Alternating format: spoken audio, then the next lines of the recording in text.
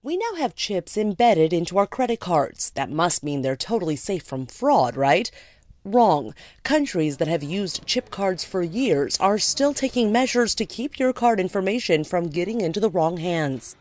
Americans may now be getting more secure credit cards, but they still have some catching up to do when it comes to fighting credit card fraud. For instance, here in England, when you pay for your meal at a restaurant, your card never leaves your sight as opposed to here in the United States where a server typically takes your card away and brings it back with a receipt. It's a practice that leaves your information vulnerable and one that's starting to change. We're used to it, handing over our card, watching it disappear behind a wall, and not worrying for one minute about its security. But we should. Though the U.S. only accounts for a quarter of the world's credit card use, it's the home to almost half of the world's credit card fraud.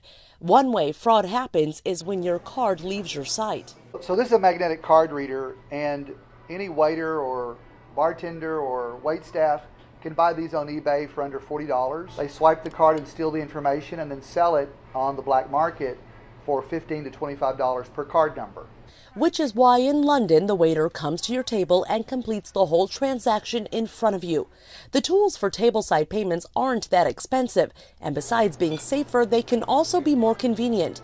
Some major chains, such as Chili's, have been rolling out tableside payments over the last year.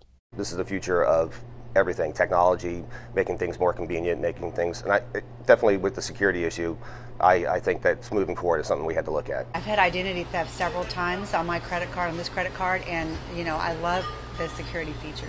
And as technology gets more sophisticated every day, with credit card readers that can even plug into a mobile phone, more restaurants may decide to give the control of the card back to the customers.